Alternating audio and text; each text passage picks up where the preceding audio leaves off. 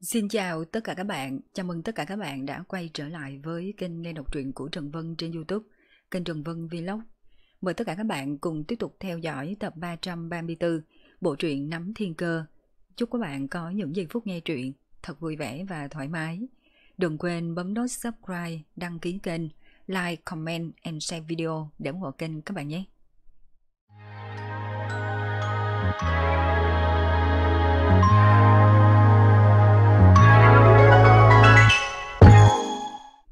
Đông Hoàng ho một tiếng, dưới ánh mắt ép buộc của đại ca, lấy hết dũng khí hỏi.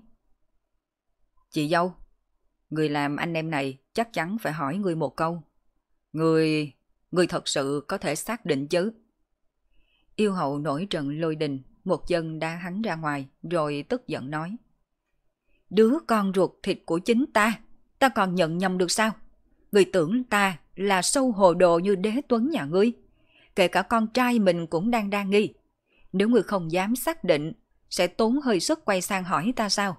Uổng công hắn là cha, uổng công người là chú người ta. Vẻ mặt hai anh em gượng gạo. Hai người chính là hai anh em khốn kiếp. Cho dù ta cắm sừng hắn, nhưng huyết mạch tam túc kim ô tinh túy như vậy, ai có thể cắm sừng thuần tới mức này cho hắn chứ? Yêu hậu chửi như tát nước, cảm xúc càng lúc càng kích động, càng ngày càng không nói lựa lời. Hai anh em càng tỏ ra gượng gạo khắp mặt. Chị dâu, ăn nói cho cẩn thận chứ. Trên trán của Đông Hoàng Thái Nhất đổ đầy mồ hôi, chân mày giật nhảy. Ta đâu dám... Ngươi, mau cút cho ta. Yêu hậu nổi giận, Đông Hoàng tán loạn chạy ra ngoài. Còn nữa, ngươi cũng cút ngay cho ta. Yêu Hoàng theo gót Đông Hoàng, cũng chạy ra ngoài với vẻ nhếch nhác Hai anh em đứng dưới thần thụ phù tang, nghe tiếng khóc thảm thiết ở trên, đều tỏ ra thổn thức, khẽ vỗ vai nhau. Sư Huynh, khổ cho Huynh rồi, bây giờ ta mới biết, sau khi cưới yêu hậu trở thành yêu hoàng chi tôn lại khó như vậy. Đông Hoàng, người hiểu thì tốt, ôi bao nhiêu năm nay ta sống... Chị dâu đồng ý gả cho ngươi là sự may mắn lớn bằng trời của ngươi. Ngươi như vậy là đang được lời, còn tỏ ra thiệt thòi với ta. Nếu chị dâu không ưa ngươi, ngươi nói ngươi làm vậy gọi là gì? Đường đường là yêu hoàng, vậy mà nói người khác sau lưng. Sao ngươi thốt lên lời được chứ? Hay chết tiệt, ngươi... Hai mắt yêu hoàng trợn tròn, định bày ra thân phận của anh hai, của mắng người anh em không biết đã bao lâu, không từng lương lẹo như thế hắn lại nghe thấy trên đỉnh đầu vang lên một giọng nói sụt xịt. Thái nhất, người phát hiện cháu trai của người ở đâu? À, lôi ưng thành. Ta muốn đi đón nó về đây, đi liền ngay bây giờ. Yêu hậu nói như đinh đóng cột, không cho phép chất vấn. Con trai ta lưu lạc vùng đất khác nhiều năm, không biết chịu hết bao nhiêu khổ, mới đại nạn không chết, hiểm tử hoàng sinh ta chắc chắn phải rước nó về đây, bù đắp thật tốt cho nó. À, đón cháu trai trở về, đó là điều chắc chắn. Nghe nói đây là đối chọi một đòn với côn bằng, mới bị hủy mất mảnh lông vũ này. Sau đó yêu hậu nhớ ra việc này, tức giận đùng đùng. Tại sao côn bằng phải đánh con trai ta? Gan chó của hắn quá là to rồi. Không phải vậy đâu, chuyện này xác thật có nguyên nhân, trong lúc côn bằng phát hiện không ổn, đã nương tay nhiều lắm rồi. Bằng không, mảnh lông vũ này căn bản không thể nào giữ lại. Đồng Hoàng Thái Nhất vội vàng giải thích chuyện này một lần nữa. Nếu không, chỉ một điểm này thôi, e rằng côn bằng sẽ bị yêu hậu trừng phạt đến nỗi chết đi sống lại không được. Năm xưa chuyện thất thái tử mất tích, thì yêu hậu suýt nữa đã đem côn bằng yêu sư đi hầm. Hiện nay thêm một lần nữa, đoán chừng cũng không cần yêu hậu đích thân ra tay, thì bản thân Côn Bằng đã phải có suy nghĩ tự sát, nhanh chóng giải thích cho hắn. Giành báu vật, hồng liên của Minh Hà. Côn Bằng to gan, lại dám tranh đoạt báu vật với con trai ta. Đông Hoàng toát mồ hôi. Côn Bằng cũng không giành được báu vật đó mà. Con trai ta lợi hại thật, ngay cả cường giả như Côn Bằng yêu sư cũng không đánh lại hắn.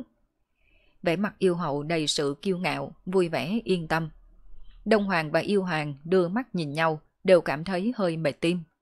Tóm lại, hiện giờ nói gì cũng không được, ngoan ngoãn ngậm miệng là được rồi. Chờ yêu hậu bình phục cảm xúc, mọi thứ đều dễ nói. Thế nhưng, hiện tại lỡ như nói một câu bị túm biếm tóc lại, thật sự rất có thể diễn biến thành ác mộng của mấy trăm ngàn năm. Yêu hậu không thể chờ đợi được, tình cảm bộc lộ trong lời nói đổi thành hành động. Ta muốn lập tức khởi hành. Không được. Đông Hoàng và Yêu Hoàng đồng thời cất tiếng. Bây giờ Tây Phương Giáo đang bố cục ở bên kia. Một mình ngươi ra ngoài, quả thật là quá nguy hiểm. Nguy hiểm thì sao chứ? Yêu hậu hiếp mắt, thản nhiên nói. Chẳng lẽ các người cho rằng bổn hậu là phụ nữ loài người yêu đuối mong manh? Có cần ba người chúng ta làm thử một trận trước không? Nhìn xem ai mạnh ai yếu. Không không không, không phải là ý này. Đầu yêu hoàng đầy mồ hôi. Đồng hoàng cũng toát mồ hôi. Cuối cùng nghĩ ra một lý do, vội vàng nói. Hiện giờ vấn đề lớn nhất không nằm ở việc phải chăng lập tức xuất phát đến lôi ưng thành hay không. Vấn đề lớn nhất là sau khi Nhã Quỳnh đấu qua một chưởng với côn bằng, tức khắc độn ra xa. Trước mắt lại không biết đã đi tới phương hướng nào. Hơn nữa bao nhiêu năm nay, đứa con Nhã Quỳnh đó vẫn luôn không có tin tức. Thậm chí kể cả lệnh bài mệnh hồn cũng đã bị vỡ. Rốt cuộc, điểm kỳ quặc to lớn của chuyện cũ năm xưa đến từ đâu? Trước khi chưa sắp xếp chỉnh đốn làm rõ ràng chuyện này, sao có thể tùy tiện tiến vào nơi nguy hiểm? Cho dù chị dâu không sợ, đứa con Nhã Quỳnh kia cũng sợ chứ.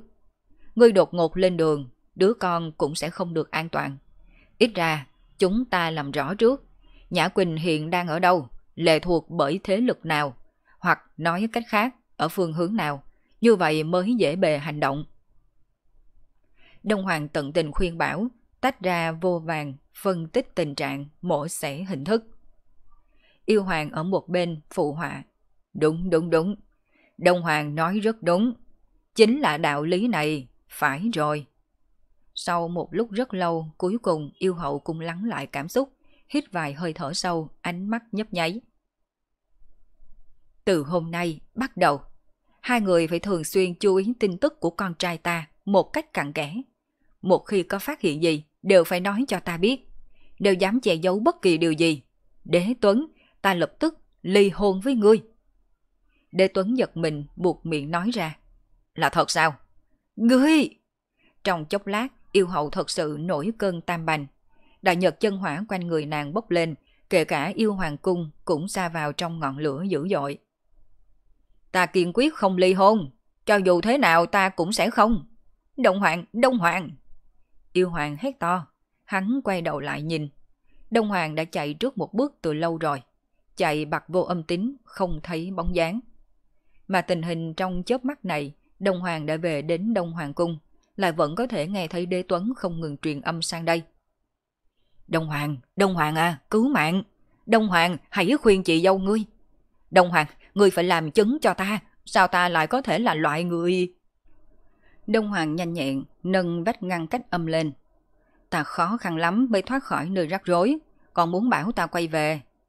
Sư huynh à, ngươi không những trông tuấn tú mà suy nghĩ cũng thật là đẹp. Đông Hoàng vừa nghĩ xong mới thở ra một hơi thật dài. Ôi nguy hiểm quá đi. Một bên khác, tả tiểu đa dẫn theo tả tiểu niệm, tiểu bạch A và tiểu tử yên thập tứ xông vào diệt không tháp như một bầy ong. Mà phía sau bọn hắn, mũi đạo nhân gần như đuổi theo chiếc đuôi của tả tiểu đa xông vào đây. Nhưng vừa mới tiến vào thoáng chốc trời đất lật ngược, khí tức âm dương hỗn loạn, một đống đại nhật chân hỏa nóng được xưa nay chưa từng có, cuộn trào mãnh liệt, kèm theo còn có diệt không tháp lập tức đóng lại. Soạt, tiểu tiểu hóa cơ thể thành đại nhật trên không, ngọn lửa chân hỏa như nước vỡ đê không thể cản trở, mạnh mẽ ngăn chặn sau lưng tả tiểu đa, chạm thật mạnh vào mũi đại nhân, hoàn toàn phân đấu quên mình. Nhiệm vụ của nó chỉ được một giây, chỉ cần tranh thủ được một giây, để đám người tả tiểu đa tiến vào diệt không tháp, có thể kịp thời quay người lại là đủ rồi. Tả tiểu đa dẫn theo tiểu bạch A và tiểu tử tả tiểu niệm dắt yên thập tứ, vừa mới bước vào như nhau, soạt một tiếng chia làm trái phải, nhanh chóng dìu đỡ bay lên. Trông thấy cánh cửa của diệt không tháp cứ vậy mà đóng. Sau đó bỗng một tiếng nổ vang, chấn động qua không gian diệt không tháp. là do tiểu tiểu hóa thành đại nhật trên không, bị mũi đạo nhân đụng tới mức vỡ vụn. Tiểu tiểu thảm thiết la lên một tiếng, giống như trái banh bị đụng ra ngoài 8.000 dặm. Thân thể đóng mạnh vào trong núi, dọc đường không biết đập nát hết bao nhiêu linh dược, còn sống sờ sờ đập ven núi ra một lỗ lún sâu không dưới mấy chục mét. Nó hấp hối nằm trong hang, đầu vừa nghiêng qua thì hôn mê ngất đi. Trước khi nó hôn mê, chỉ còn một ý nghĩ. Mẹ ơi, người đây là chọc phải thứ gì? Thế nhưng, hang bốc khói đen phù phù bay lên lượn lờ, trái lại là bằng chứng tuy tiểu tiểu bị thương nhưng vẫn còn mạng nhỏ. Mũi đạo nhân bị tiểu tiểu liều mạng đụng vào cũng cảm thấy khí huyết sôi sục. Tiểu tiểu là thuần huyết hoàng tộc, phụng thiên thừa mệnh được trời ưu ái. Bẩm sinh đã sở hữu áp chế huyết mạch với những yêu tộc khác. Tuy mũi đạo nhân cũng là sinh linh tiên thiên, vẫn phải chịu khắc chế bởi khí vận hoàng tộc trên người tiểu tiểu. Đặc biệt, va chạm này dẫn đến một tai họa sắc nách. Mặc cho mũi đạo nhân chịu đựng nổi cũng không thoải mái, thân hình lập tức lững lờ một hồi. Nhưng mũi đạo nhân là ai? Tự kêu là trùm hồng hoang, nhân vật tung hoành tuyệt đỉnh đương thời. Một mạch dừng bước chân, nở nụ cười lạnh lùng, ngẩng đầu lên, quan sát khắp nơi. Thấy nơi này có núi, có nước, có trời, có đất, không khỏi lạnh lùng cười. Hóa ra là một động thiên phúc địa. Chẳng lẽ ngươi tưởng rằng nơi này có thể nhốt bổn tọa lại sao? Hắn nhìn một vòng xung quanh rồi thản nhiên nói. Cũng là một nơi không tồi. Bổn tọa phải cảm ơn các người tự cho mình là thông minh, tự cho mình là đúng. Bây giờ ta tuyên bố chỗ này đã thuộc về ta. Lúc này tả tiểu đa và tả tiểu niệm ở trên bầu trời cùng quay người lại, chùy kiếm trong tay một trái một phải, đối mặt mũi đạo nhân. Sắc mặt vẫn có thể giữ bình tĩnh, thế nhưng trong lòng hai người toàn là sự nặng nề hơn bao giờ hết. Tên trước mặt này thật sự không dễ chung sống, không hổ danh là hung thú thượng cổ, dị chủng hồng hoang. Trước đó, bọn hắn giao chiến với mũi đạo nhân. Tả tiểu đa và tả tiểu niệm ai nấy đều dốc toàn lực, hoàn toàn không nương tay, vẫn không chiếm được một ít lợi ích nào. Ngược lại vẫn luôn cảm thấy có sức mà khó sử dụng, cứ bị đè đánh. Từ khi hai người nhập đạo tu luyện, có thành cho tới nay, đây vẫn là lần đầu tiên gặp phải tình hình như thế. Hơn nữa đó còn là trong số tình huống hai người hợp sức. Phải biết rằng hai người hợp lại, bổ sung cho nhau, thực lực là tăng trưởng gấp đôi. Người trước mặt có thể xưng là kẻ địch lớn trước nay chưa từng có, nhưng hiện nay hắn đã vào trong diệt không tháp. Mũi đạo nhân, mũi đen cánh đỏ, dị chủng hồng hoang. Ánh mắt của tả tiểu đa như điện, nhìn mũi đạo nhân, thờ ơ nói. Đầu hàng đi, đầu hàng, giao nguyên thần của ngươi ra đây. Trước mắt, đây là con đường sống duy nhất của ngươi. Với ánh mắt của tiền bối hồng hoang, không lẽ thật sự cho rằng thế giới này chỉ dừng ở mức động thiên phúc địa thôi sao?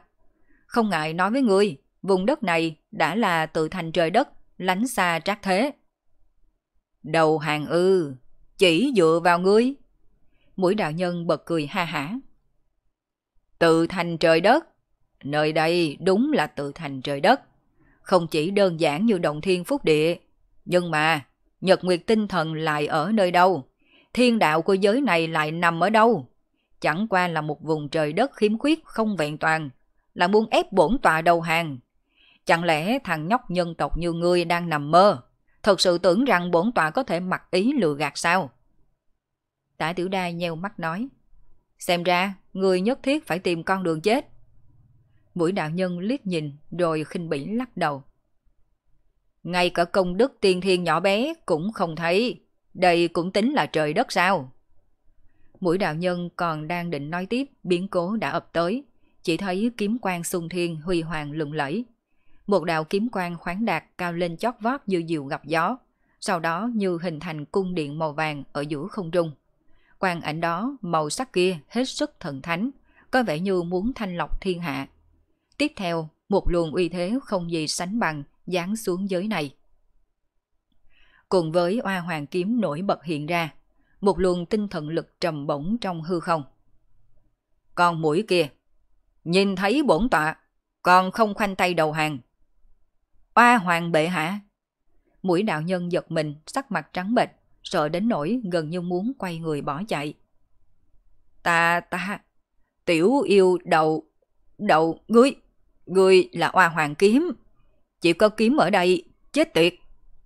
Phút chốc hắn vừa suy nghĩ sáng tỏ. Oa hoàng bệ hạ không ở đây, chỉ dựa vào một kiếm linh vô ngươi, có tư cách gì bảo bổn tọa đầu hàng. Người dám nói to đe dọa bổn tọa, bổn tọa nói phải lấy người để tế miệng, tuyệt thêm một món linh bảo tiên thiên. Vừa rồi, hầu như hắn bị oa hoàng kiếm dọa tới mức mất hồn mất vía. Nhanh chóng phát hiện được, nơi này chỉ có một oa hoàng kiếm, chú người đáng sợ nhất đó không có mặt ở đây. Chợt, một trái tim rung lẩy bẩy lần nữa trở nên yên ổn. Thế nhưng trong chốc lát suýt nữa thì tè ra quần rồi, ôi mất mặt quá đi. Quả thật là vô cùng nhục nhã, chắc chắn phải tiêu diệt tất cả sinh linh trước mặt mới có thể tẩy rửa. Ta đây lại bị một thanh kiếm dọa cho sợ hãi, khắp người còn đang toát mồ hôi lạnh. Có điều nỗi sợ hãi kia hiện đã hóa thành cơn giận. Một đám sinh linh trước mắt, chuẩn bị chịu đựng thịnh nộ của ta rồi chứ. Hoa hoàng kiếm cũng tức tới nổi cả người run rẩy. Mẹ nó xem thường người ta sao? Không đúng, khinh thường kiếm sao chứ? Ta đây đã hoàn toàn hồi phục, thực lực hơn hẳn ngày trước. Vốn định ra vẽ một hồi để mọi người xem thử. Toàn bộ các ngươi đều không được, vẫn phải để bổn kiếm ra mặt trấn áp. Không ngờ rằng ra đây không những không hù được con mũi chết tiệt này, ngược lại bị phản tác dụng. Đúng là quá mất mặt. Mũi kia, người đây là tự tìm đường chết. Sức mạnh tinh thần của Hoa Hoàng Kiếm chấn động không khí. Đợi ta phá hủy không gian này, giam lại hai đứa trẻ nhân tộc kia. Đến cả Hoa Hoàng Kiếm ngươi cũng chính là của ta. Ngươi còn tưởng ngươi vẫn là Hoa Hoàng bội kiếm thượng cổ hay sao? Ta phi vào. Nhưng thấy hai tay mũi đạo nhân vung vẩy một chút, 12 đôi cánh lớn sau lưng đột ngột hiện ra. Âm thanh bo ve chấn động cả đất trời, ánh mắt sắc bén hung hăng bắn ra bốn phía. Sức mạnh tinh thần của tả tiểu đa và con rồng nhỏ liên kết với nhau, mượn sức lực của con rồng nhỏ, hợp lại thành một với không gian diệt không tháp, ngay lập tức hét lên. Đất trời tại đây, nghe theo lệnh ta, với kẻ thù địch không được chiếm linh. Đất trời cùng diệt. Lần đầu tiên con rồng nhỏ thao tác như thế nhưng vẫn cố gắng kiểm soát cẩn thận tỉ mỉ. Lời còn chưa dứt, linh khí của không gian diệt không tháp lại cuồn cuộn trao đảo, từ bên người mũi đạo nhân thoát ra ngoài. Điều đó cho thấy, bắt đầu từ giờ phút này, linh khí trời đất trong diệt không tháp chỉ cung cấp cho tả tiểu đa. Mũi đạo nhân sẽ không dùng được chút gì, sau đó cũng sẽ không bổ sung thêm. Nếu như sức lực của hắn hao cạn hết, như vậy sẽ biến thành một bộ xương khô. Mũi đạo nhân khẽ cười. Chút tài mọn như thế, cũng muốn vây bắt ta sao? Nói rồi cả người lóe lên, vậy mà lại xuất hiện vô số mũi đạo nhân, hình dáng đều giống nhau như đúc. dáng người cao gầy, tay cầm kiếm đen, trong mắt lóe lên từng đợt lạnh buốt. Ngay lập tức, vô số mũi đạo nhân đồng loạt phóng lên. Tốc chiến tốc thắng cho ta.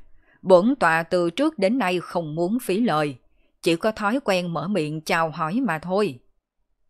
Đầu óc tả tiểu đa xoay trở cực nhanh, cực hạn thúc đẩy chút dung chân hỏa, nhẹ hô.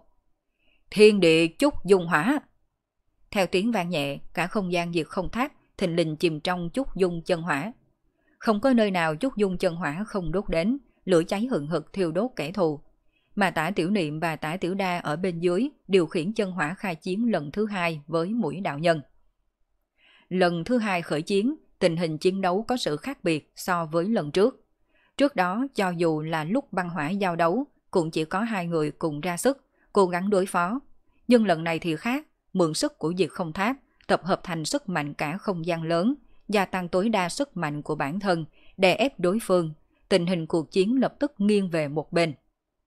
Mỗi đạo nhân phân thân ra nhiều, nhưng kết lại vẫn chỉ có một bản thể. Bản thân đó nếu không có bản thể thì cũng không có lực uy hiếp quá lớn. Một khi rơi vào trong chút dung chân hỏa, lập tức phát ra từng đợt kêu thảm thiết. Mặc dù còn miễn cưỡng tồn tại, có điều cũng chỉ là tạm thời mà thôi. Mũi đạo nhân hừ một tiếng trong mắt mang theo vẻ kinh ngạc. Vậy mà, lại là tổ vu chi hỏa. Vừa nãy ở bên ngoài, tả tiểu đa vì muốn đẩy ra năng lượng cao nhất, sử dụng tất cả thủ đoạn tập hợp thiêu đốt, chút dung chân hỏa hòa vào những ngọn lửa khác, nên lực sát thương không nghi ngờ gì khi ở mức tối đa. Nhưng khi tu vi bản thân có giới hạn, được cái nếu không đánh mắt nhìn sang, mũi đạo nhân cũng không nhận ra. Dù sao thì hắn cũng không đích thân giao đấu với tổ vu. Nhưng lúc này, bản thân hắn đang đứng trong chút dung chân hỏa, vì vậy đã lập tức nhận ra ngay. Tổ vu đã chết rồi, củi đã cháy hết, ngọn lửa vẫn còn, thì có tác dụng gì? Mũi đạo nhân hét to, tất cả phân thân đều lần lượt quay lại, hợp thành một thể. Vô số kiếm đen dừng lại bên người, giống như một con nhím giữa trời, lại giống như một chiếc xe tăng mạnh mẽ lao tới. Tả tiểu đa và tả tiểu niệm không lơ là, đồng loạt xông lên, mượn lực của diệt không tháp, kịch liệt khai chiến với hình dạng mạnh mẽ nhất của mũi đạo nhân. Lúc này cựu cửu miêu miêu trùy cùng với đoạt linh kiếm, cường nhu kết hợp, băng hỏa hợp dòng, phối hợp chặt chẽ, kỹ càng. Hai người liên thủ vậy mà trong khoảng thời gian ngắn có thể đánh ngang tay với mũi đạo nhân. Lấy thêm sức lực từ diệt không tháp vô số linh khí, núi hô biển gầm đồng loạt chui vào thân thể hai người, nhanh chóng bổ sung thiếu hụt. Mà mũi đạo nhân bên kia chỉ có thể dựa vào bản thân mình để gắn gượng. Vừa nãy lúc nói ra những lời vọng tưởng, nhưng lúc đánh thật, mũi đạo nhân mới phát hiện trình độ âm hiểm thâm sâu của chiêu này như nào. Lần đầu tiên trong đời rơi vào tình cảnh không gì có thể cứu trợ, hoàn toàn bị vây khốn trong địa bàn của người ta. Hiện nay vẫn còn có thể ứng phó, nhưng bản thân đã xuất ra toàn lực. Trạng thái như vậy tất nhiên không thể kéo dài, mà như thế này cũng chỉ có thể đánh ngang bằng với đối phương. Qua một lúc nữa khó tránh rơi vào thế yếu, càng đánh càng bất lợi. Chỗ này không thể ở lâu. Nhìn rõ điều này, mũi đạo nhân bất ngờ ép lui vợ chồng tả tiểu đa, thân mình nhanh chóng lui ra ngoài. Nhưng mà hắn tỉnh ngộ quá muộn rồi. Soạt, oa hoàng kiếm trực tiếp hóa thành một luồng kiếm khí sáng chói. Công đức của oa hoàng kiếm, một nhát ở giữa, đã hủy đi một phần khí vận của mũi đạo nhân. Mà lúc này con rồng nhỏ trên thân oa hoàng kiếm đang không ngừng nuốt lấy khí vận kia. Mũi đạo nhân tức giận hét. Là ai? Là ai hả? Ra đây, ngươi là thứ đê tiện vô sĩ. Vậy mà còn có kẻ khác ẩn thân. Mà kẻ đang ẩn thân này, vậy mà dám nuốt khí vận của bản thân hắn. Bình thường, chỉ có hắn đi hút máu, hút sức mạnh tinh thần của kẻ khác, nuốt lấy linh bảo linh vận. Không ngờ rằng thế đạo luân hồi cũng có lúc khí vận của bản thân bị kẻ khác nuốt mất. Nhất thời, mũi đạo nhân hoàn toàn điên lên. Nếu như chỉ dừng lại ở mức tiêu hao trong chiến đấu, mũi đạo nhân tuyệt đối không sợ hãi. Cứ cho là đối phương có thể bổ sung sức lực bản thân, hắn thì không.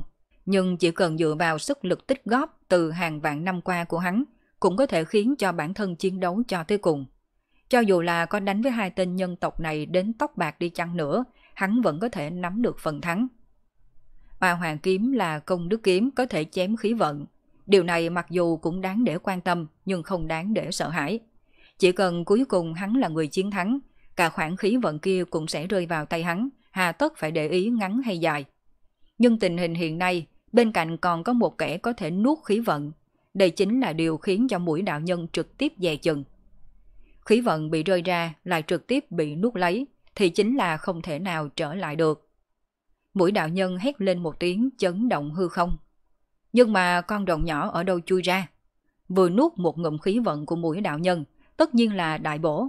Nhưng mà trước giờ con rồng nhỏ chưa từng nuốt loại khí vận này, nên vẫn còn chưa kịp thích ứng. Muốn tiêu hóa được, cần phải mất chút thời gian. Trước mắt, nó đang trong oa hoàng kiếm từ từ tiêu hóa. Chỉ còn lại tả tiểu đa và tả tiểu niệm tiếp tục ưng chiến cùng mũi đạo nhân. Thấy được tình cảnh không có lợi trước mặt, tình thế thay đổi dần dần bị ép rơi vào thế yếu, Mũi đạo nhân e sợ đêm dài lắm mộng, không dám chần chừ, tung ra chiêu bài cuối cùng, dốc toàn bộ sức lực, ý đồ muốn nhanh chóng kết thúc trận chiến này. Các loại pháp bảo toàn lực dốc ra, trong nháy mắt vậy mà có thể đánh đến tả tiểu đa không kịp trở tay. Tả tiểu đa và tả tiểu niệm cũng ra sức ứng phó với mũi đạo nhân, vẫn còn có thể duy trì cuộc chiến ổn định, nhưng sức lực không gian cung cấp cho bọn hắn là càng lúc càng yếu đi. Trận chiến này đánh đến long trời lỡ đất. Kể từ lúc bắt đầu cuộc chiến đến giờ, vậy mà trôi qua hai tiếng rưỡi. Hai người tải tiểu đa càng đánh càng lộ ra trạng thái uể oải, khó có thể tiếp tục duy trì. Lúc mới bắt đầu thế trận cân bằng, sau đó bị ép đến còn thế 4-6. đến 37, rồi 82, 19. Hiện tại chỉ còn chút xíu nữa có thể coi như hoàn toàn chịu đòn. Ngươi, nhanh lên đi! Tải tiểu đa gương mặt đều đỏ lên hết ra sức thúc giục. Con rồng nhỏ rốt cuộc cũng tiêu hóa xong ngụm khí vận vừa nãy hút được từ mũi đạo nhân. Bay lên cùng oa hoàng kiếm, gào thét trong không trung, thừa cơ ra tay một lần nữa. Mũi đạo nhân nổ đom đóm mắt, điên cuồng phẫn nộ hét. Người đừng có qua đây! Ngay vào lúc này, một luồng ánh đen đột nhiên bắn ra từ trong tay tả tiểu niệm, tốc độ nhanh đến mức khó mà tưởng nổi. Thí thần thương yên thập tứ. Cho đến bây giờ, mặc dù yên thập tứ đã hoàn toàn hóa hình, nhưng mà nói đến đẳng cấp để gia nhập vào cuộc chiến này thì lực vẫn chưa đủ. Cho dù miễn cưỡng tham gia ít nhất cũng chỉ đáng một đòn. Nhưng một đòn này là có thể ảnh hưởng đến thế cục hiện nay. Lúc yên thập tứ hóa hình, lấy tốc độ không tưởng tượng nổi, nhanh chóng xuyên trúng ánh kiếm của mũi đạo nhân. Âm thanh gãy khúc vang lên, vậy mà có thể xuyên thành một lỗ lớn. Yên thập tứ ra một chiêu hoàn thành sứ mệnh. Một cánh của mũi đạo nhân bị xuyên qua, một luồng khí đen mãnh liệt bắn ra xa. Một đòn này của thí thần thương Yên thập tứ đúng là chuyên chú vô cùng, một đi không trở lại, dẫn đến dùng sức quá độ, trực tiếp không thể dừng xe, cuối cùng mang theo nửa cánh của mũi đạo nhân đâm sầm vào trong núi. Nghĩ lại cũng thật là, sức lực của chúng có thể xuyên thủng nửa cánh siêu mạnh của mũi đạo nhân, thì ngọn núi nào mà chịu được. Nhưng lúc này, có ai còn để ý đến điều này cơ chứ? Ai nấy đều vội vàng nắm bắt cơ hội. Mũi đạo nhân kêu lên một tiếng đau đớn, tả tử đa giáng xuống hai chùy, trường kiếm chặn lại, vậy mà một âm thanh gãy giòn vang lên. Thanh kiếm đen kia vậy mà gãy rồi. Trải qua trận chiến dài ác liệt, hai chùy một kiếm giao đấu không biết bao nhiêu lần, hiện tại vậy mà gãy rồi. Thật ra cũng khó trách, Yên Thập Tứ mặc dù chỉ là đánh một đòn, nhưng nó phát ra trên cơ sở của Thúy Thần Thương. Một đòn đó sao có thể coi là bình thường được. Kiếm đen đã bị Thí Thần Thương xuyên một lỗ, đã xuất hiện hư tổn, tất nhiên là không thể tiếp tục chịu một trận mãnh liệt của cửu cửu miêu miêu chùy. Nhưng một chùy kia cũng làm cho tả tiểu đa khó chịu, bị lực cản đánh bật lại phun ra một ngụm máu tươi, lão đảo lùi về sau.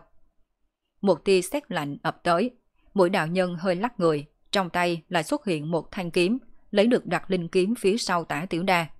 Mà ngay vào lúc này biến cố lần nữa xảy ra, băng phách trong đặt linh kiếm đột ngột xuất hiện. Đây là lần đầu tiên băng phách hiện thân kể từ khi chiến đấu với mũi đạo nhân. Một luồng khí sắp phun ra, đây chính là khí cực hàng của trời đất.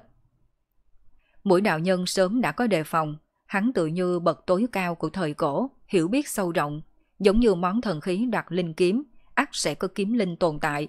Nếu không, sao có thể để kiếm đen kia bên trong hắn? Cho nên, lúc vừa xuất hiện, mặc dù có chút đột ngột, cũng không làm tả tiểu đa cảm thấy quá bất ngờ. Có điều bên kia, vòng xoáy không gian đã bố trí ổn thỏa, đã trực tiếp thu lấy luồng khí cực đông kia vào trong, tiện tay ném nó ra ngoài. Thanh kiếm trong tay tả tiểu niệm cũng bay ra. Lúc hai thanh kiếm giao đấu lẫn nhau, tả tiểu niệm mặc dù bị rung chấn bay ra ngoài, nhưng lại có một luồng sáng trắng mãnh liệt trào ra từ đoạt linh kiếm của tả tiểu niệm, mạnh mẽ bổ lên người mũi đạo nhân. Sau đó trên người mũi đạo nhân cháy hừng hực. Chỉ có điều loại lửa này không phải bình thường, mà chính là hỏa diễm hàng băng. Ngọn lửa sáng bạc, một bên băng phong, một bên thiêu đốt, băng càng lúc càng dày, mà lửa càng lúc càng hừng hực. Mũi đạo nhân kêu la thảm thiết. Băng diễm, băng diễm, phượng hoàng thượng cổ. Trong tiếng kêu đầy chất chứa sợ hãi. Rốt cuộc ngươi là ai? Rốt cuộc ngươi là ai? Mũi đạo nhân có nằm mơ cũng không ngờ rằng nữ nhân nhân tộc xinh đẹp trước mặt vậy mà còn có một chiêu ác chủ bài như thế. Từ lúc bắt đầu khai chiến đến giờ đều là thiếu niên nhân tộc kia xuất chiêu. Vô số chiêu thức, các loại bất ngờ thăm hỏi, vẻ mặt đầy xảo quyệt khiến người ta vô cùng chán ghét. Mà trong hai người, vị trí tấn công của thiếu niên nhân tộc kia cũng rất rõ ràng. Lực chiến càng cao, binh khí càng ưu việt, tâm cơ đủ sâu, ác chủ bài sẽ càng có sức thương tổn lớn không ngừng xuất ra. Ngược lại thiếu nữ nhân tộc, kể từ lúc giao chiến, từ đầu cho tới cuối đều là bộ dáng nhẹ nhàng bình tĩnh, lãnh đạm như trăng sáng. Rõ ràng là một tiểu nha đầu thành thục, cũng chính là một băng sơn mỹ nhân. Mà người như vậy, bình thường sẽ không lén lút xuất chiêu tập kích. Nhưng nào ngờ, thiếu nữ nhìn có vẻ đơn thuần như vậy, thế mà còn lợi hại hơn so với tên thiếu niên kia. Kể từ lúc giao đấu đến giờ, ba lần tập kích, đầu tiên là thí thần thương phóng ra từ tay của thiếu nữ này. Tiếp theo là luồng khí cực đông cực hàng, sau đó còn quá đáng hơn. Sau luồng khí cực đông cực hàng chiêu giấu chiêu, đánh đến bản thân không kịp phòng bị. Hơn nữa còn thi triển ra bộ pháp phượng hoàng tuyệt học mà trước giờ chưa từng biểu hiện ra, băng diễm. Đây là tuyệt học chí cao vô thượng của tộc Phượng Hoàng. So với niết bàn chân hỏa gì đó, thì băng diễm càng có lực sát thương hơn. Nếu tu vi của bản thân không cao, nếu không phải tu vi của nhà đầu này còn chưa đến mức quá lớn mạnh, chưa thể phát huy ra hết sức mạnh của băng diễm. Nếu không, trận băng diễm này có thể đốt chính hắn thành tro bụi, thành băng vụn. Mẹ kiếp, hiện tại hồng hoang nhân loại đều âm hiểm như vậy sao? Đây đâu còn dùng chữ hai chữ tâm cơ để mà hình dung được. Mũi đạo nhân trong lòng hối tiếc không thôi, nhưng thân thể lại càng thành thật, lập lòe cuồng bạo. Vô số linh sắc đen như núi lửa bạo phát không ngừng chui ra, cố gắng loại bỏ sức lực của băng diễm trên người. Nhưng khó trách khiến bản thân càng rơi vào thế chật vật hơn. Cố gắng tiếp những đòn tấn công liên tục của tả tiểu đa và tả tiểu niệm. Nhưng mà cuộc diện công thủ đã vạch rõ ràng. Mũi đạo nhân lâm vào hoàn cảnh chịu đòn. Cho đến mười mấy giây sau mới có thể ép băng diễm loại ra khỏi cơ thể. Dù vậy cũng đã làm cho khí thế của hắn yếu đi không ít, không còn mạnh như trước. Một cây gậy lớn đột nhiên xuất hiện, tự như một ngọn đuôi lớn đập vào người mũi đạo nhân. Mũi đạo nhân bị đập một cái, liền lão đảo, vội vàng quay đầu lại nhìn. Chỉ thấy một con vượn khổng lồ đội trời đạp đất, tay đang cầm một cây gậy lớn đập xuống lần nữa. Loại công kích này mũi đạo nhân chỉ có thể chống chịu. Nhưng mà điều này không khiến hắn quá kinh sợ. Chu yểm, chu yểm! Mũi đạo nhân điên cuồng la to, trong mắt đầy lo lắng hoảng hốt. Sao ngươi lại ở đây? Hắn đương nhiên nhận ra Chu Yểm, tất cả đều là hồng hoang chi thú, nhưng mà trước giờ hắn chưa từng qua lại với Chu Yểm. Nếu gặp nhau sớm hơn, nói không chừng, Chu Yểm đã bị mũi đạo nhân hút khô rồi. Sau này Chu Yểm tiếng xấu vang xa, mũi đạo nhân cũng không dám trực tiếp mặt đối mặt với nó. Có thể trốn thì trốn, ai ngờ hiện nay lại đối mặt với nhau tại đây, hơn nữa còn có kẻ thù. Con mẹ ngươi chứ! Mũi đạo nhân mắng to. Nói sao? Ông người xui như vậy, thì ra là do thứ như người ở đây. Trong lòng dâng lên một cảm giác tuyệt vọng. Vốn dĩ vẫn còn có chút hy vọng có thể thoát khỏi đây. Hiện tại xem ra tia hy vọng ấy sắp tắt rồi. Mẹ kiếp, trong này vậy mà còn có ách vận chi thú mai phục. thứ đáng chém ngàn đau này. Ôi! Trong lúc tâm trạng rối bời hoảng loạn, soạt. Sau đó oa hoàng kiếm rơi xuống như ánh chớp, hùng hăng bổ xuống người của mũi đạo nhân. Ba cánh đèn lớn trực tiếp đứt rời khỏi thân. Con rồng nhỏ như hổ như sói nhanh chóng nhào qua nuốt lấy. Đồ tốt, đồ tốt. Một mảng khí vận là bị công đức kiếm chém rơi ra, sau đó bị một thứ mà bản thân hoàn toàn không nhìn thấy trực tiếp nuốt mất. Chu Uyển giơ cao cây gậy lớn, giống một tiếng thật to, tiếp tục bổ xuống. Trái tim mũi đạo nhân kịch liệt run rẩy, lần này hắn hoảng sợ thật sự. Một gậy này đập xuống chỉ sợ hôm nay phải bỏ mạng tại đây. Vậy là hô to. Dừng tay! Nhưng mà tả tiểu đa và tả tiểu niệm khó khăn lắm mới lấy lại được thế trận, nào chịu dừng tay. Giờ phút này chính là cơ hội tốt hiếm có. Thiên hồn mộng yểm trùy, tiếng sấm sét lại nổi lên, quỷ môn quan mở lối.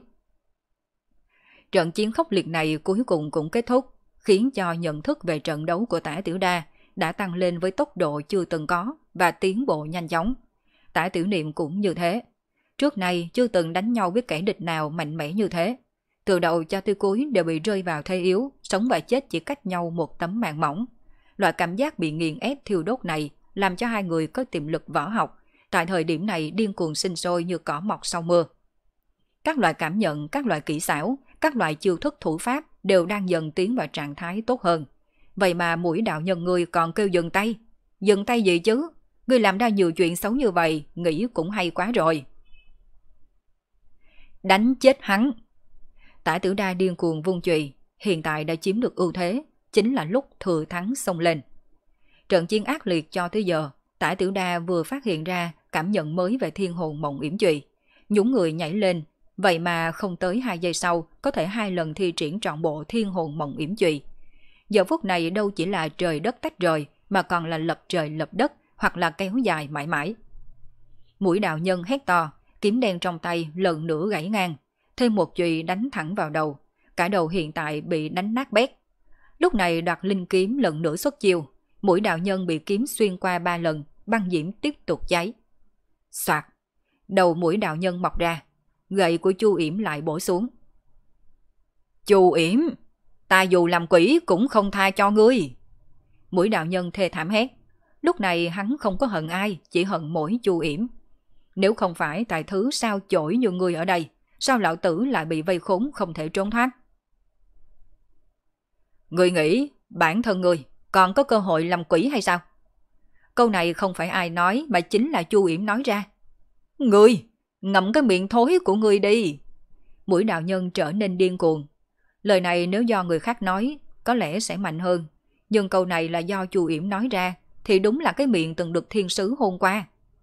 Ta hận ngươi! Hoa hoàng kiếm lập loè ánh sáng, mười mấy thanh kiếm đồng loạt xuất ra. Cả người mũi đạo nhân bị kiếm xuyên tới xuyên lui. Thí thần thương đến vừa kịp lúc, phá vỡ lớp phòng bị kia. Từ một bên khác xuyên vào. Cơ thể mũi đạo nhân bị tàn phá nặng nề, chui về sau mấy trăm dặm. Ánh đen vẫn không ngừng nhấp nháy. Đầu bị đập nát lại tiếp tục mọc ra. Thân thể bị đánh không còn hình dạng, lão đảo cố gắng đứng lên, phun ra một ngụm máu tươi, sắc mặt xám xịt, ánh mắt đầy tuyệt vọng. Ức hiếp người, quá là ức hiếp người rồi. Mũi đạo nhân vô cùng đau khổ. Các người không cần mặt mũi nữa sao? Địa bàn cũng là của các ngươi. Một đám vây đánh mình ta. Chưa kể còn có nhiều chiêu thức mạnh nhất của phường hoàng tộc. Tổ vụ dân hỏa còn có tiên thiên linh bảo. Một kẻ đánh lên cơ thể, một kẻ thiêu đốt linh hồn, một kẻ chém khí vận, một kẻ nuốt khí vận. Các người phân công quá là rõ ràng rồi. Mẹ nói chứ. Hơn nữa vết thương của những binh khí có tinh không bất diệt thạch kia tạo ra, làm cho bản thân phải hao tổn không ít công đức mới có thể điều hòa lại được. Ta cũng chỉ là một tiên thiên hung thú mà thôi, nhiều năm như vậy tích cóp được bao nhiêu công đức chứ. Đã vậy còn có chu yểm, có thứ xui xẻo đó ở đây, nhân quả gì cũng chấm dứt hết. Mà điều khiến mũi đạo nhân nói không ra lời nhất, chính là cái trước kia hắn xem thường. Các người lại điều động linh khí của không gian này nên muốn hút một chút linh khí trị thương của lão tử cũng làm không được, chỉ đành tự thân khổ cực gắn gượng. Vô sĩ như vậy ai mà đánh nổi cơ chứ? Một chữ sai, cả bài đều sai. Cơ thể mũi đạo nhân hiện tại đầy rẫy vết thương, khí vận của bản thân rơi ra đều bị nuốt hết. Dưới sự thương tổn ngày một nhiều hơn, sớm đã không thể chống lại thực lực của đối phương rồi. Một trận băng diễm lần nữa cháy lên, bên còn lại lửa cháy hừng hực, chút dung chân hỏa cũng đang tụ lại trên đầu chùy. Bổn tọa, liều mạng với các ngươi! Mũi đạo nhân hét to, ác tính của thượng cổ hung thú từ trong cốt tủy toàn bộ đều bộc phát ra bên ngoài. Hắn hét to một tiếng cả người đột nhiên phát ra Phật quang sáng chói. Mà cả người bị vây hãm trong Phật quang tự như một loại chiêu thiêu đốt khác, nhanh chóng bay lên, mãnh liệt hung ác xông về tả tiểu đà. Hôm nay lão tử khó có thể qua, nhưng dù có chết cũng muốn kéo người theo làm tấm đệm lưng. Tả tiểu đa hét lên một tiếng nhanh chóng di chuyển thân thể, sau đó mũi đạo nhân kinh ngạc phát hiện Hai cái chuyện lớn kia vậy mà biến thành hai ngọn núi nhỏ như lưu tinh trụy, ngăn chặn lão tử, không để lão tử đến gần. Oanh một tiếng sấm sét ập xuống, một trận gió lốc nổi lên. Lúc này càng khung nhật nguyệt sơn hà đang không ngừng chớp sáng trong gió lốc, giống như một trận mưa lớn từ phía xa tấn công về mũi đạo nhân. Một bên khác, tả tiểu niệm dứt khoát không ra tay nữa, giao kiếm linh cho tả tiểu đa điều khiển đặt linh kiếm, bay tới bay lui, uyển chuyển nhẹ nhàng. Nhưng thật ra là đang tìm điểm yếu của mũi đạo nhân. Chỉ cần tìm được cơ hội thì nhanh chóng qua bổ một nhát. Oa hoàng kiếm cũng như vậy. Có cơ hội thì lập tức chém xuống, một mảng khí vận rớt ra. Con rồng nhỏ chỉ mong có thế, nhanh chóng nuốt lấy. Cùng lúc này thí thần thương yên thập tứ cũng đang tìm cơ hội. Sau khi tìm thấy thì dốc hết sức, xông qua, tạo ra nhiều lỗ thủng.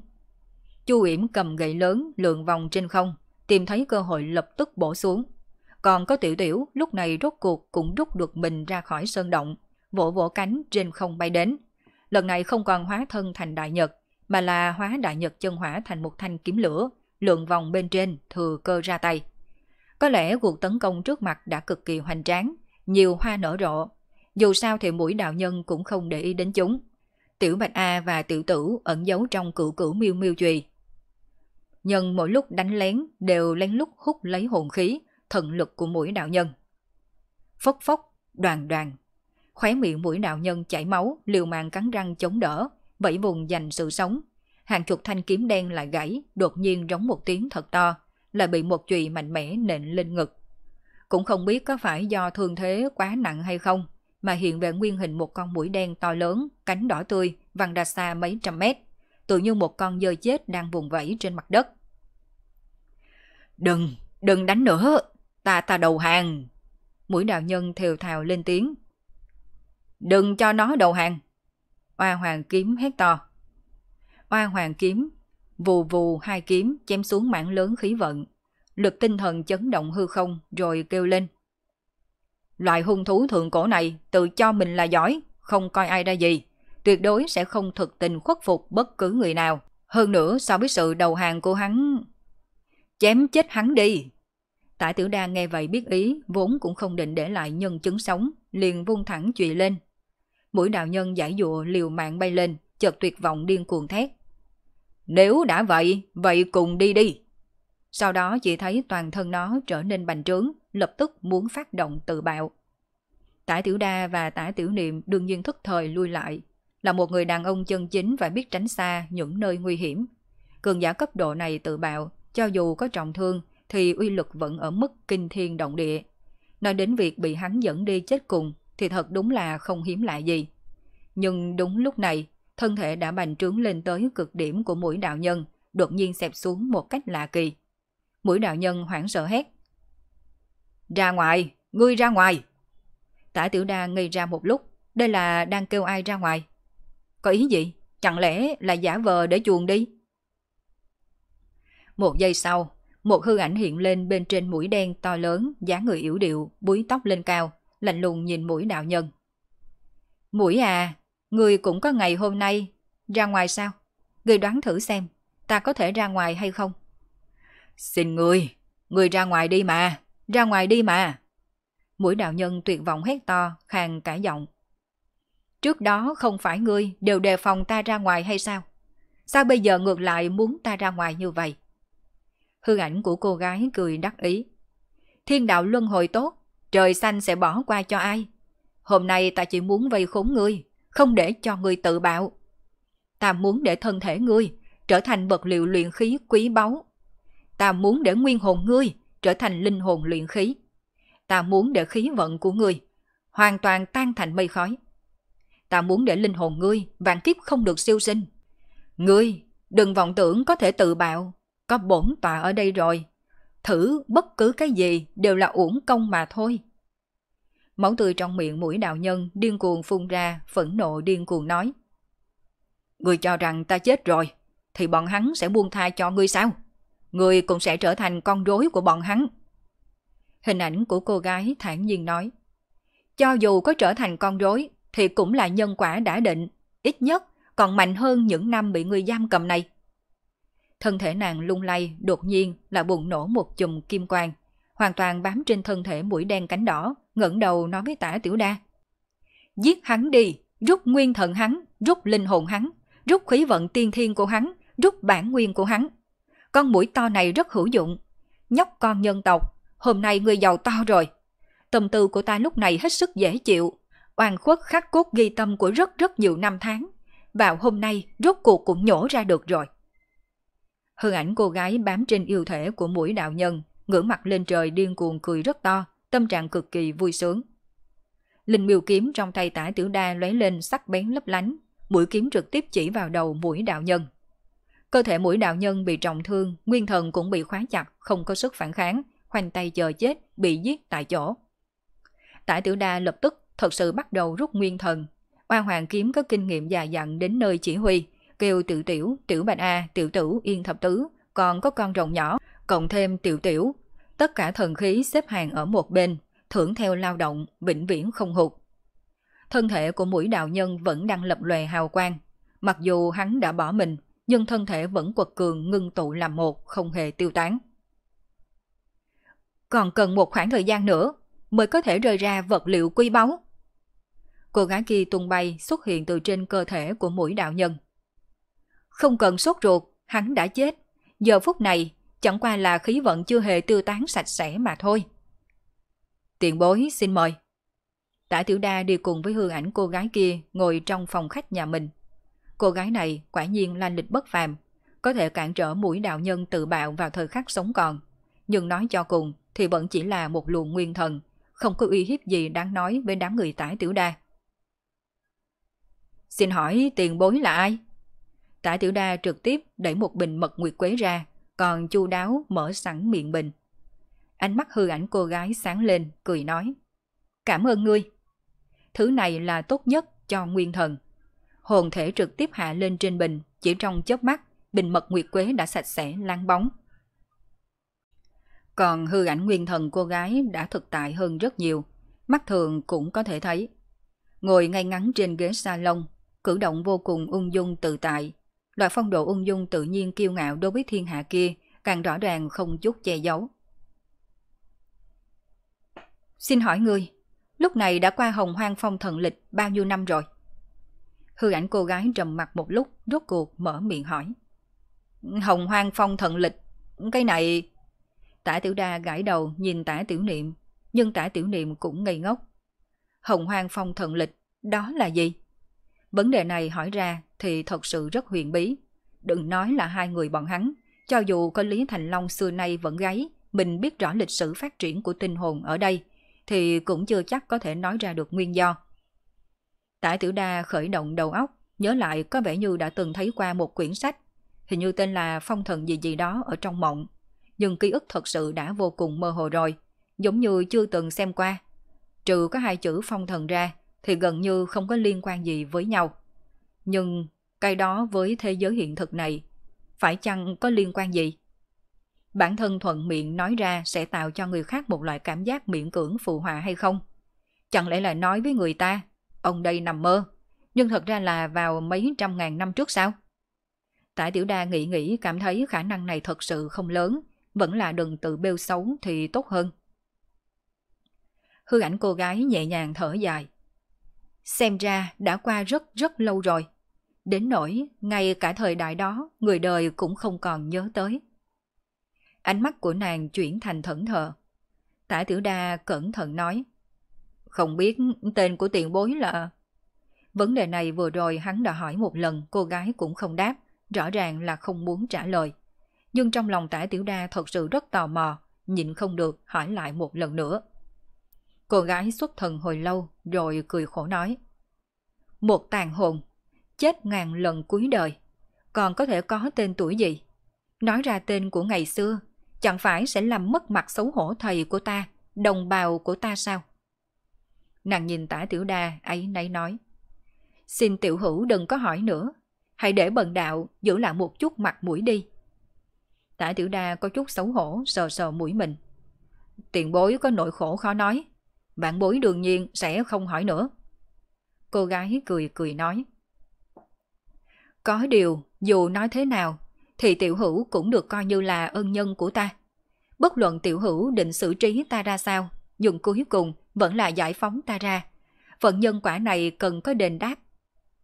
Tả tiểu đa hiểu rất rõ câu nói này của nàng, rõ ràng là đang thử thăm dò mình sẽ xử trí nàng ra sao. Hắn khoát tay nói, duyên phận thế gian, tận về nhân quả. Cuối cùng tiền bối cũng thoát khỏi đại nạn. Phúc phần sau này đáng chờ mong. Nói đến hai chữ xử trí gì gì. Nếu tiền bối thấy không thuận tiện, chỉ cần nói rõ chỗ trở về. Ta sẽ tự nghĩ cách đưa tiền bối trở về. Nếu như bây giờ không có chỗ để đi, thì cứ ở lại nơi này của ta. Đừng có ngại. Phương pháp dựng lại thân xác kia, bạn bối cũng có thể góp sức một chút sức mọn. Tả Tiểu Đa cũng không nói quá rõ ràng, càng không nói đến tự chết. Bây giờ là thời đại chiến tranh ác liệt. Nếu như cô gái này có lập trường đối địch với nhân tộc tinh hồn, vậy Tả Tiểu Đa vẫn sẽ xé rách da mặt đem đi xử trí. Mà với trí thông minh của cô gái này, đương nhiên vừa nghe là đã biết, rõ ràng ý nghĩa trong lời nói vẫn chưa hết. Nhóc con này nên là muốn mời chào ta sao, khẩu vị thật không có nhỏ mà. Cô gái tươi tỉnh trở lại cười một tiếng, duyên dáng nói. Tiểu hữu giúp ta tàn hồn còn mãi. Trước mắt thật sự ta cũng không có chỗ nào để đi. chỉ đành mặt dày tạm thời ở lại nơi này của tiểu hữu. Nếu như tiểu hữu có chỗ nào không hiểu trong khi tu luyện, thì có thể hỏi ý kiến của ta cũng được. Kết cục như vậy, tất nhiên là hai bên đều vui. Tả Tiểu Đa cũng không keo kiệt, đưa thêm mấy bình mật nguyệt quế cho cô gái này dùng để điều trị. Dù sao cũng chỉ là một nguyên thần, hơn nữa còn bị giam cầm, không có gì đáng lo. Sau đó mới đi xem thu hoạch của mình. Lúc này mũi đạo nhân kia quả nhiên đã hoàn toàn thân tử đạo tiêu hồn phi phách tán.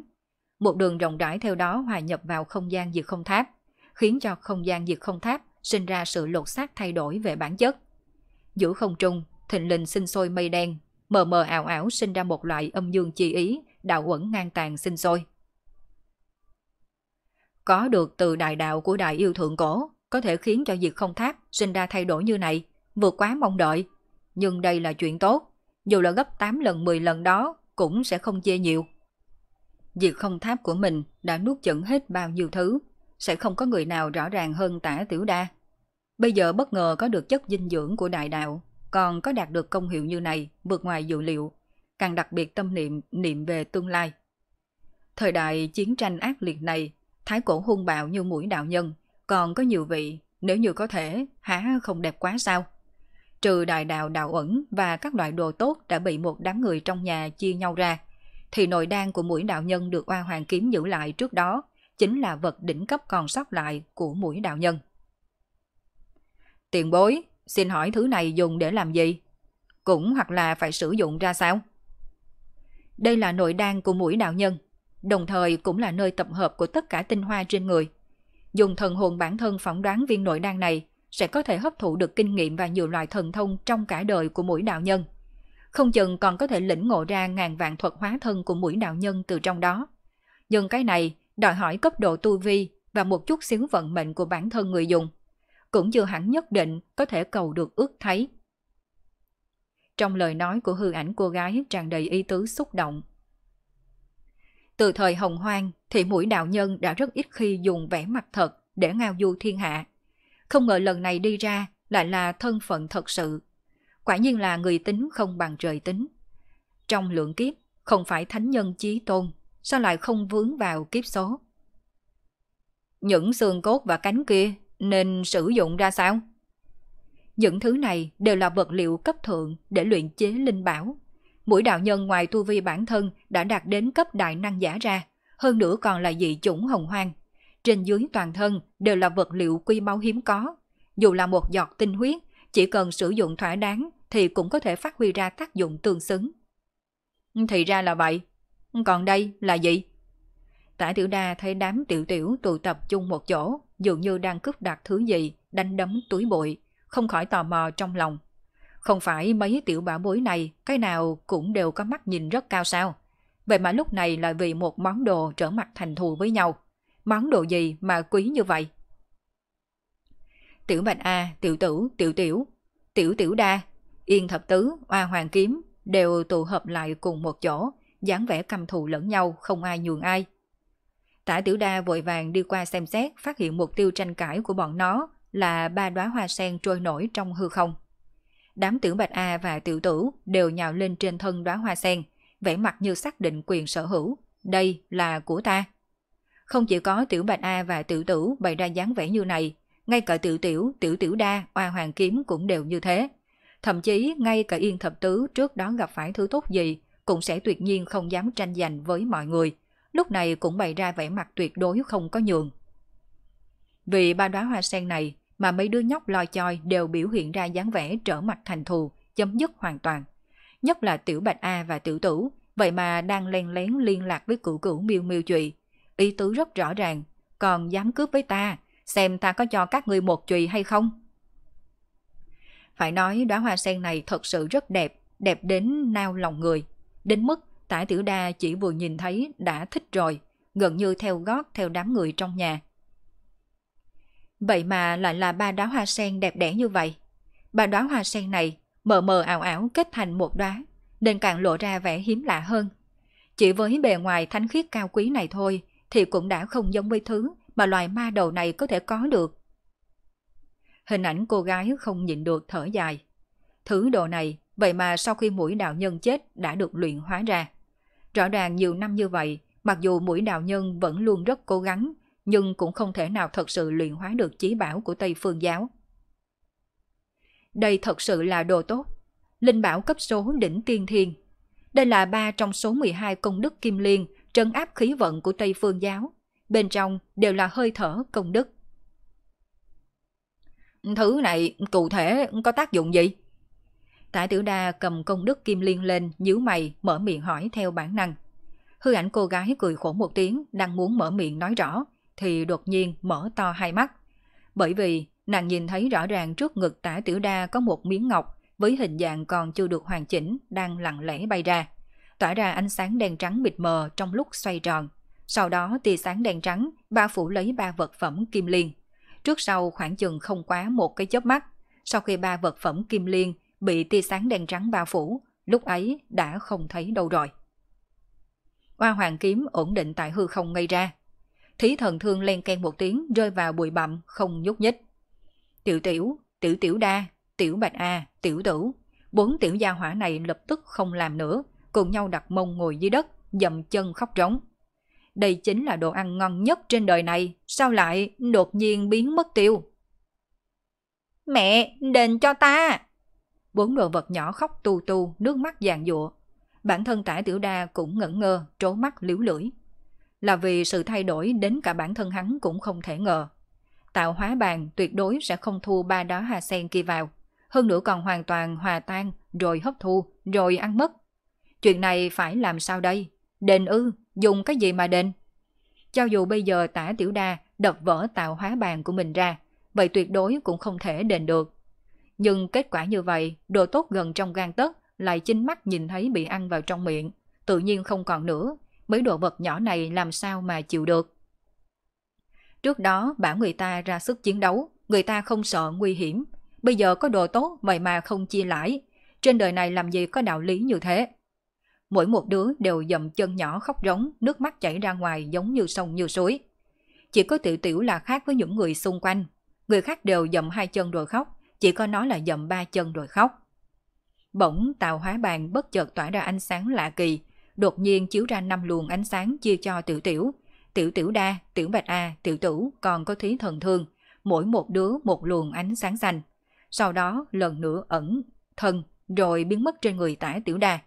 Hiển nhiên cũng cảm thấy nuốt chửng một mình có chút ngại ngùng, nên chia cho một chút. Hoa hoàng kiếm. Của ta đâu? Của bổn kiếm đâu? Mẹ kiếp, mấy đứa khác đều có. Chỉ có ta là không có là sao? Chẳng lẽ thật sự chỉ có mấy đứa nhóc kia biết khóc thì mới được ăn kẹo? Bây giờ ông đây khóc nè, liệu có kịp hay không? Hoa hoàng kiếm tức nổ bụng bay đi bay về trên không trung, vù vù bay tới bay lui. Ông đây không có phục, ông đây cũng muốn có. Dựa vào cái gì mà không cho ta? Cho hết tất cả mọi người rồi, vì sao lại không có cho ta? Nhưng mà cho dù nó có bay tới bay lui, thì tạo hóa bàn cũng không trở ra nữa. Mặc dù tạo hóa bàn đã cho chút lợi ích, nhưng đối với đám ranh con tiểu tiểu mà nói thì vẫn chưa được. Vừa mới bắt đầu thôi, người đã nuốt hết rồi, chỉ cho bọn ta có chút xíu vậy sao? Sức lao động của người ta không có rẻ như vậy đâu. Thế là vẫn dậm chân gào khóc. Kết thúc tập 334 bộ truyện Nắm Thiên Cơ. Cảm ơn tất cả các bạn đã theo dõi.